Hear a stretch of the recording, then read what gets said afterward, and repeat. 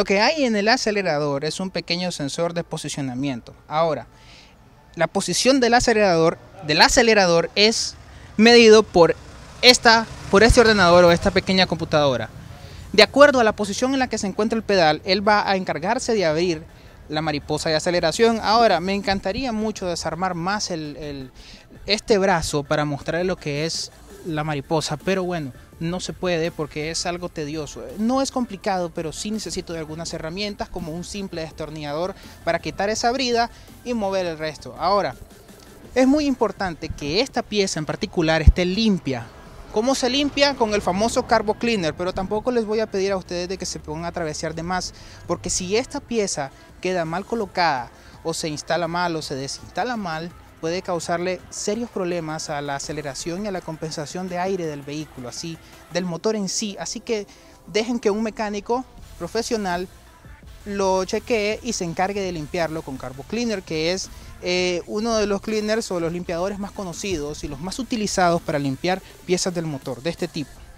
Ahora, luego de haber visto lo que es el múltiple de admisión en general, siempre es necesario tenerlo limpio. Así que denle su mantenimiento, llévenlo al taller cada cierto tiempo y asegúrense de que lo limpien porque si no el vehículo no rendirá al máximo.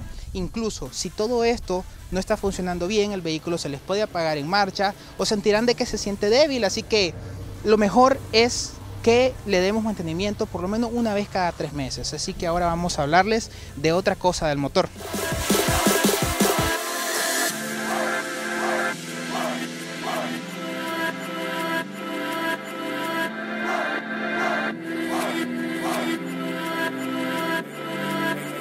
El sistema de encendido convencional por, platinos era el sistema que los vehículos utilizaban antes de lo actual, es decir, aquel sistema famoso de distribuidores era lo que se encargaba de distribuir la chispa equitativamente para que el vehículo creara las detonaciones.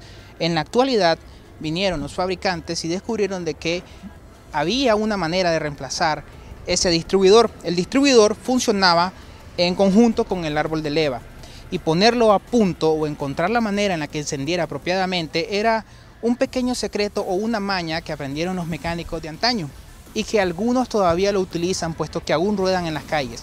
Pero va a ser muy complicado que encontremos un vehículo actual con, este, con el sistema de encendido convencional. Lo que hicieron fue reemplazarlo, ¿ok? Vamos a quitar el sistema convencional y vamos a reemplazarlo por esto. Estas son bobinas de aceleración. Las bobinas de aceleración están conectadas, por cierto, también puedo desconectar aquí las bobinas y evitar de que William vuelva a encender el vehículo.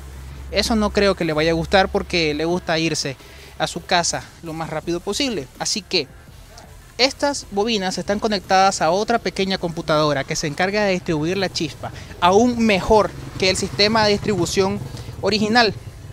¿Por qué? Porque él se encarga de distribuirlas dependiendo de cómo se encuentre el vehículo. Si ha estado estacionado por varios días, igual encenderá al tiro, como se dice popularmente. Ahora, ellas también pueden presentar fallas y son otro pequeño dolor de cabeza que tomar en cuenta de este vehículo. Cabe recalcar que hemos visto muchas cosas negativas del vehículo, pero sí hay que tomar en cuenta de que esto pasa por falta de mantenimiento o cuando el vehículo ya tiene cierta edad.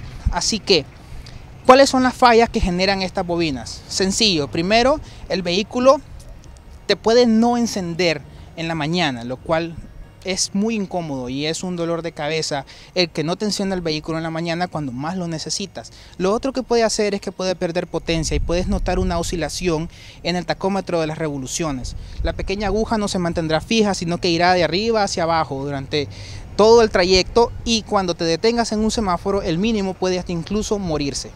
Ahora, si continuamos hablando de las bobinas, hay que tomar en cuenta de que conseguirlas es tedioso también.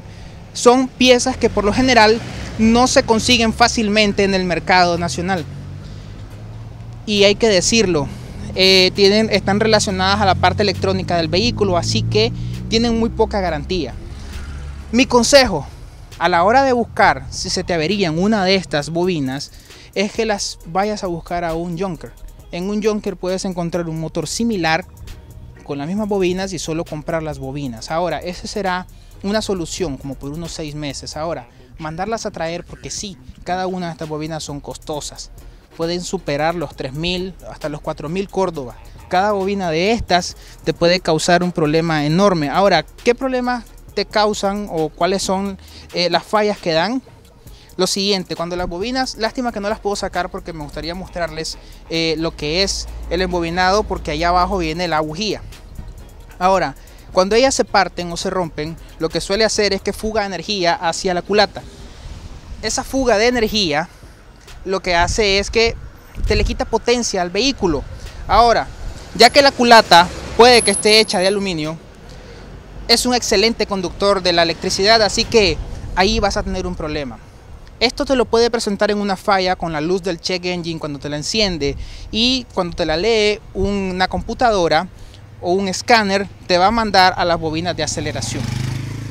Por lo tanto, este es otro aspecto a tomar en cuenta a la hora que tienes un vehículo de esto y que supera cierta edad. Ahora, con nosotros nos encuentra el dueño de este vehículo, que es el señor eh, William. Y William aquí no ha estado escuchando todo lo que he hablado del vehículo. Todavía no. Todavía no. Voy a tener que ver el programa. Pero bueno, ya le cambiaste el radiador, ¿verdad? Sí, lo cambiamos, cambiamos la tapa arriba del radiador. ¿Qué problema te presentó el radiador? Bueno, el radiador este se, reventó porque la tapa es de plástico, la que trae originalmente es como de fibra, algo así como de plástico. Entonces después de, me dijeron que después de cierto kilometraje pues suele reventarse, este, de hecho se reventó. Entonces la tuvimos que cambiar. ¿Y ahorita lo andas corriendo con agua o andas refrigerante? Ando en teoría refrigerante, pero no sé por qué ha estado sobre, como que se evapora muy rápido. Entonces si te fijas en el refil, en el tanque de refil, ando agua, en el radiador tengo, tengo refrigerante, le he echado, pero últimamente le he estado echando agua porque no sé por qué se ha estado yendo, se ha estado perdiendo. Te comento la falla, yo te la puedo solucionar en este momento y así a la vez voy a demostrar realmente de que soy un técnico mecánico. ¿Ves aquellas dos mangueras que van para adentro? Correcto. Ok, esas dos mangueras ahí va, se pierde, ahí donde se te pierde el refrigerante. Ellas van hacia eh, otro radiadorcito pequeño que funciona pero que es no para enfriar, sino para calentar es como un calentador que se utiliza en lugares fríos.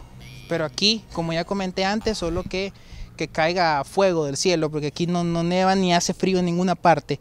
Entonces, lo que podés hacer ahí, que es fácil de hacer, es que se quitan esas dos mangueras y los dos, los dos lugares por donde salen del motor, lo que se hace es se puentea. Ah, se, hace una sola. Eh, eso te lo hace cualquier mecánico y como ya sabes qué es lo que le va a hacer, no le vas a decir que te cubre un ojo de la cara. ¿Verdad? Entonces, ahí te soluciona ese problema básicamente y te lo digo por experiencia propia porque yo ya tuve uno de estos vehículos y me dio todititas esas fallas de las cuales he hablado en el programa, por cierto, todas esas fallas por las cuales he hablado son por experiencia propia. Vienen dando después de los 80 mil kilómetros normalmente. ¿Cuántos kilómetros tiene este vehículo? 110, 110 mil. Entonces 110 mil es más que suficiente. Ya no le has reemplazado los amortiguadores. Se supone cuando me lo vendieron que se acaban de reemplazar, entonces en teoría no, no lo he visto, pero sí. Ok, entonces podemos decir que ya están reemplazados, pero en sí, esa falla del radiador la puedes corregir así, así de sencillo, simplemente haciéndole un puente con las mismas mangueras se hace.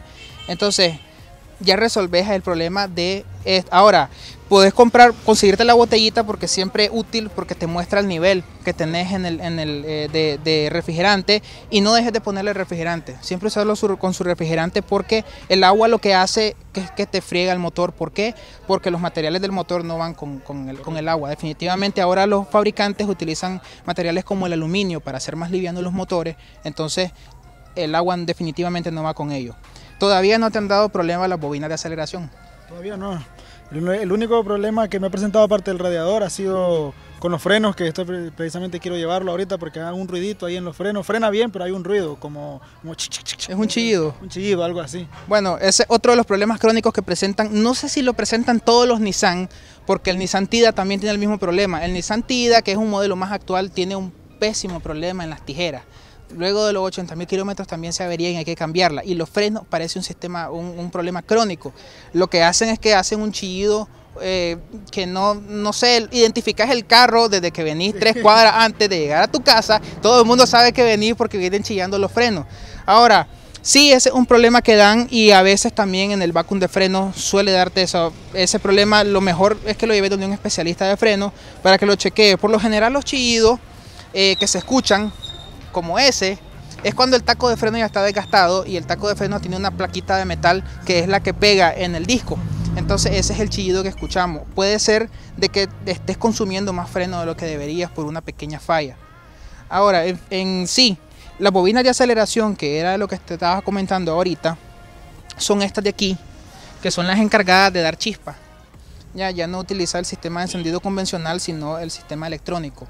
Esas bobinas a veces se revientan y hace que se fugue la energía que debería de ir al, al chispero o a la bujía. Esto te quita potencia y conseguir la bobina es problemático porque no las venden aquí. O si las encontrás, encontrás similares que no le van a quedar y no van a funcionar igual.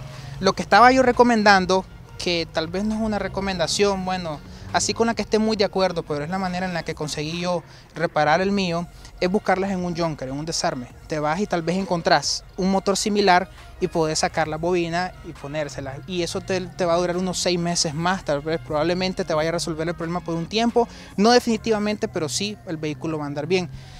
Próximamente te puede dar esa falla, así que no te quiero asustar. y sí, son caras. Prepara tu bolsillo. Es más, y sacando desde ahorita. Ahora, ya hablamos de todo, en particular del vehículo. Lo único que me faltó de hablar era por el, este, el valijero. Eh, la capacidad que tiene el valijero, alcanzan como tres cuerpos.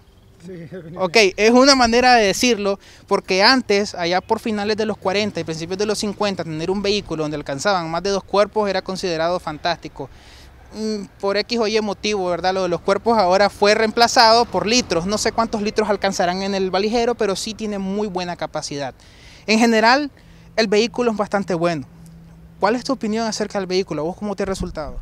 Pues yo tengo ya un, tiempo de tenerlo y hasta ahora pues no, me ha dado ningún problema. Eh, básicamente lo utilizo para viajes cortos de acá, pero sí lo he utilizado para un par de viajes largos pues dentro de, dentro de Nicaragua, pues yendo de polo a polo, yendo tal vez desde Huaco, Chontales hasta venir hasta arriba y pues hasta ahora no me ha presentado ningún problema mayor. La, buena, pues una aceleración decente. Eh, un, un desplazamiento también bastante decente y el consumo pues por ahí está dos que tres pues también. Obviamente pues si tenés un motor 1600 pues tampoco puedes esperar hacer 50 kilómetros, 55, pero sí pues eh, me ha parecido un vehículo dentro de, lo, de sus limitantes. De lo, razonable. De lo razonable pues bueno. Ok, fantástico. Mencionaba yo de que es importante de que mantengas siempre limpio lo que es el área de la respiración del vehículo o el múltiple. Eh, cambiar periódicamente su filtro de aire es algo bien importante.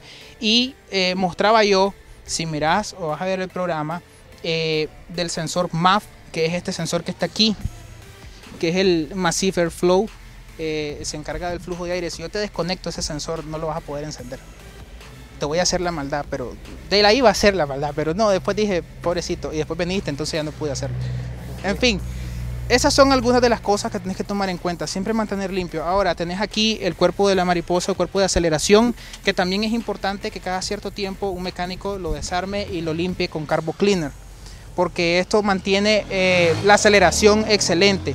Una pequeña partícula que mantenga abierta la, que mantenga abierta la mariposa de aceleración va a hacer que el carro se te acelere y te va a crear un mayor consumo y no querés eso. Lo que querés es que el vehículo sea más económico. Mientras tanto, esto fue lo que es el Nissan Almera. ¿Este Nissan Almera qué año es? 2006. Es 2006, o sea que después de este se reemplazó por un modelo eh, que es más delgadito, que fue el último modelo de Nissan Almera que salió, pero para mí en lo particular este es el más elegante, que es desde el 2003 hasta el 2006, como les comentaba, tuvo tres modelos diferentes, desde el 2000 que se comenzó a fabricar hasta como el 2009 que se dejó de producir. Esto es algunos de los datos que les voy a dar acerca de este vehículo. Ahora, no se los estoy diciendo porque el vehículo sea malo. Les estoy explicando todo esto para que ustedes le puedan dar un mantenimiento a tiempo a su vehículo. Si ustedes tienen un Nissan Almera de este tipo, eh, ya les he comentado de algunas de las fallas y no es para que se pongan nerviosos, es para que se pongan atentos de qué es el mantenimiento que le tienen que hacer a un vehículo como este. Ahora, por mi parte, esto ha sido todo en Check Engine. Agradecemos a William que nos ha permitido utilizar su vehículo para hablar un poco de él y mostrarle lo que son las fallas de los vehículos. No hay ningún vehículo perfecto. Todos los vehículos tienen fallas de fábrica que las vienen a presentar tarde o temprano. En este caso, este vehículo las presenta tarde, pero si estamos prevenidos, las podemos resolver a tiempo.